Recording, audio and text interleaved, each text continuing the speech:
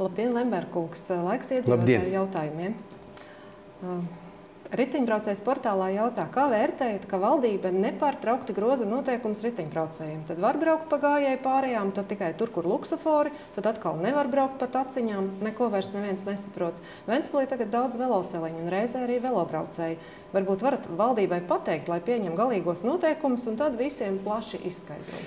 Es domāju, ka visiem vajag aktīvi piedalīties diskusijā par kādi noteikumi ir pareizi Nu, es esmu gan velobraucējs, gan autobraucējs. Un es teikšu tā, ka eh, tad, kad velobraucēji par gāju pārējām varēja neregulējami, nu, kur zebra ir, varēja iet eh, kā gājēji tikai ar riteni pie rokas, tas bija daudz pareizāk nekā tagad var braukt ar riteni.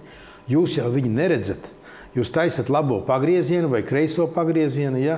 un viņš, un viņš pēkšņi brauc ar uh, gājējis iet ar ātrumu kādi nu, 3 km/h, nu 4 km/h.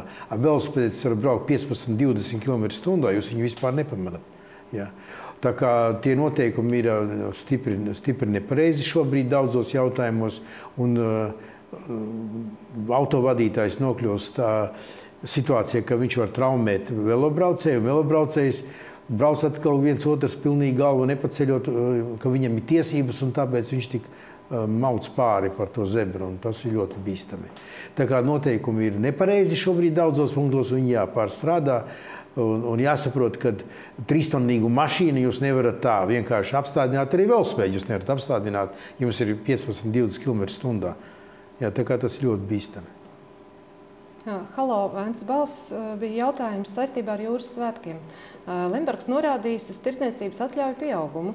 Man liekas, ka tie svētki domāts kļuvuši par tirdzniecības un spekulantu svētkiem.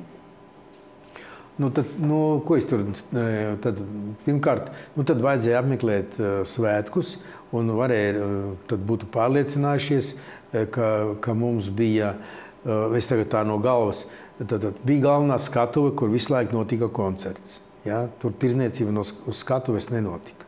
Tālāk bija speciāla zona, kur bērniem nodarboties. Tad bija vēl viena skatuve, bija. tad bija airēšanas sacensības. Ja? Mums bija dažāda veida aktivitātes, apmēram desmit vietās. Savukārt, tirgotāji, tirgotāji piesaka, ka viņi vēlas tirgoties, viņiem ir atvēlētas zināmas vietas, Un vai tur kāds pirks vai nepirks, tas jau ir brīva griba. Eh, bet tas, ka eh, vairāk ir piesakās tirgotāji, kas grib tirgoties jūras svētkos, tas nozīmē, ka viņi vienkārši uh, konstatējuši, ir, ka svētkos piedalās vairāk cilvēku un katrs kaut ko pieiet, un ne katrs, bet kaut ko nopērk, un viņiem tas ir izdevīgi. Un cilvēki labprāt arī skatās, jo tur tomēr ir tirzniecībā tādas lietas, ko citur nevar nopirkt. Nu, piemēram, daļamata meistara visādi izstrādājumi. To jūs uz katros, katrā veikalā nenopirksiet. Iesiet Rīmī veikalā, jūs sakat, to tur nevarat nopirkt. Ja? Nu, saldējums. Nu, ja kādam negribas ēst saldējumu, var nepirkt. Ja? Bet, teiksim, es ar bērniem mēs nopirkām saldējumu. Nu, ja mums nebūtu, kur nopirkt saldējumu, mēs brauktu uz Rīmī, pirkt saldējumu. Ja? Tādā attālumā.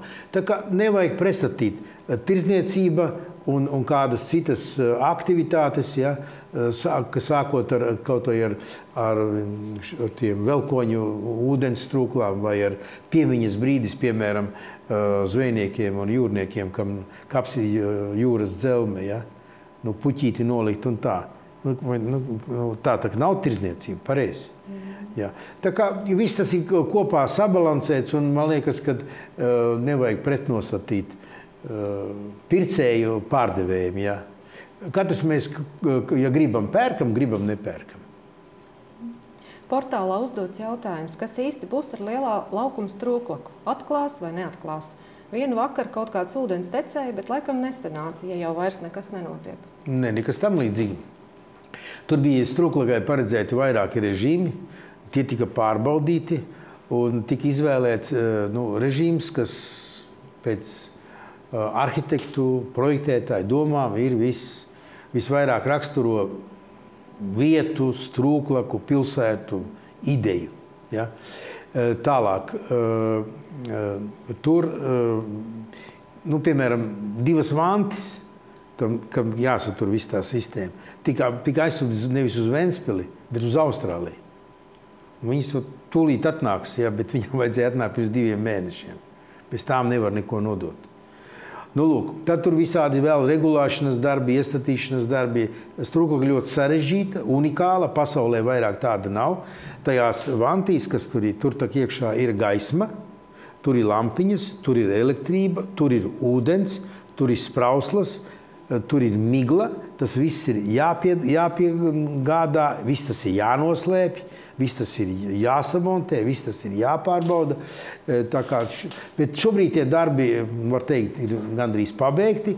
Un e, šo piekdienu, 29. E, jūlijā, vakarā, mēs plānojam šo te strādnieku, projektētāju, arhitektu, zinātnieku gara darbu novērtēt un, un pieņemt eksploatācijā, bet oficiāli viņi atklās 5 augustā, eh, pusvienpadsmitos eh, vakarā.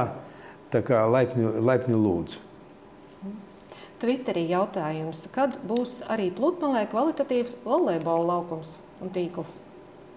Eh, mēs pēc šīs pludmales sezonas sāksim būvēt nevis laukumu, bet gan pludmales volejbola stadionu, var teikt, jā. Tā ir vecā vietā tikai, nu, tie būs Man liekas, ka četri laukumi, tur būs arī tribīnas un infrastruktūra. Tur varēs notikt arī oficiālas sacensības.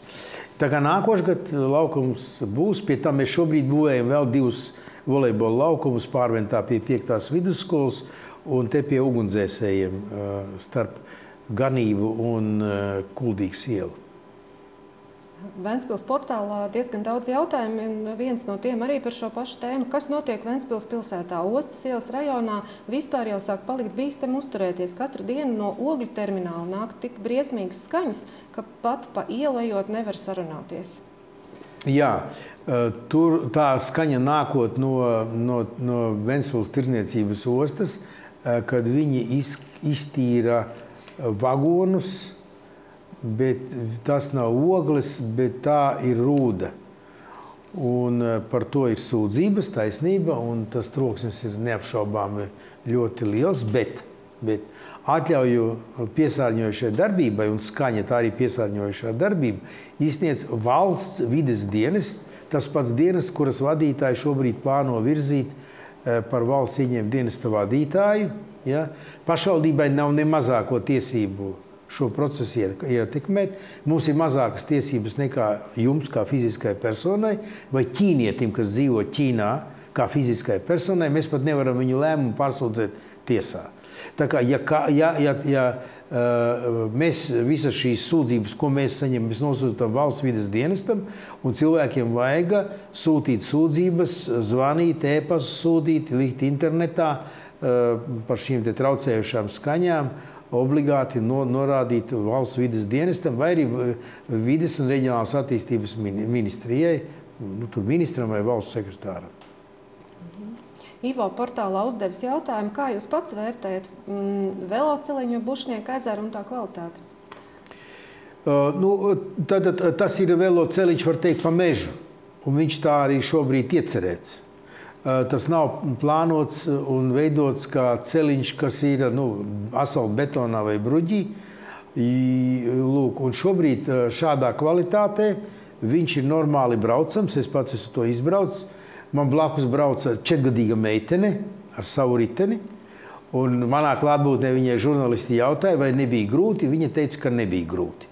Tā kā es novēlu visiem būt vismaz tādā kondīcijā, kā četrgadīga meitene. Anita portālā savukārt saka paldies par jaukajām šūpolēm jūrmalā, kur var šūpoties mamma kopā ar bērniņu. Jau izmēģinājām, ļoti patika un gribētos tādas arī bērnu pilsētiņā. Jā, es arī tādas nebiju redzējis vispār, jā, un, bet, nu, kad mēs ieraudzījām katalogā visu laiku sekojot, kas notiek pasaulē, mēs tādas nopirkām, izmēģinājumu stādījām, Pat cik ir ļoti plaša pozitīva rezonance, atsauces arī šajā jautājumā izskan, tad bērnu pilsētiņās tās tiks uzstādīts, un mēs vēl paskatīsimies, vēl, kur mēs varam uzstādīt. Ja ir kāds idejas, vajag rakstīt, ja tehniski un loģiski un drošības viedokļi tas būs izdarāms, mēs to izdarīsim. Ļoti interesants šūpols. Jā. Paldies par labiem vārdiem. Reti. tas tā ir. Feims portālā jautā, dzirdēju, ka atklāts jauns democentrs. Vai tagad mums būs savs AHA kā Igaunijā, un kas tur īsti būs? Jā, šodien atklāju. Nu, tas nepretendē uz AHA centru, tur citi tie nav tādi mērogi. Demo, kurzemes demo centrs tikko arī apmeklēju, paskatīju, ļoti interesants. Ļoti interesants. Nu, es atzīmētu augsto tehnoloģiju parka vadības, tur Eglīša kungs un Dodo kungs. Ja. Pirmkārt, ir piesaistīta Norvēģu nauda, tad tas ir velti. Otrkārt, radošās izstrādes programmatūra ir vietējā. Ja, tas ir Ventspilsnieku produkts. Ekspozīcija ir interaktīva, tad jūs personīgi tajā piedalāties. Tur nav lasīt kaut kādu grāmatu vai kaut kādu uzlīmi, kas tur nē, tā nav. Lūk, interaktīvi. Un uh, jūs iegūstat zināšanas, droši vien, kas jums vairumā gadījumu nav, par klimata izmaiņām un to ietekmi uz pasaules tagadējo un nākotnes attīstību, un kas kā ietekmē un tā tālāk. Tā kā vajag apmeklēt katru dienu, viņš ir vaļā, pastīties tos darba laikus internetā un uz priekšu. Ļoti labs, kompakts, interesants objekts, kurā nu, kādu stundu jāplāno, vai pusotras jums vajadzēs pavadīt. Un visbeidzot, Aina portālā jautā, vai šogad Lembergs atbalsta ar saviem līdzekļiem geto games norisi. Un pati raksta, ka ļoti atbalsta, ka jaunie cilvēki nodarbojas ar sportu, nevis dzer un lieto narkotikas. Jā, es pilnīgi piekrītu, tāpēc es arī savā laikā biju iniciators izveidot skateparku un visas citas, tur daudzas citas aktivitātes, arī to ielu vingrošanas, teiksim, stadionu un arī pludmales volejbolu. Tas gan nav ekstrēms, bet vienalga, tas nav zālē nu, un daudz citas. Un arī šogad 2000 eiro es dodu šīm skateparka, skateparka uzvarētājiem eh, nu, kā naudas balvu, lai te atbrauktu labākie vai vieni no labākajiem Eiropas un pasaules sportistiem. Un, viņi arī savu dalību ir apliecinājuši. Man ir, man ir liels prieks. Mhm. Paldies par atbildēm, uz tikšanos. Paldies par redzēšanos.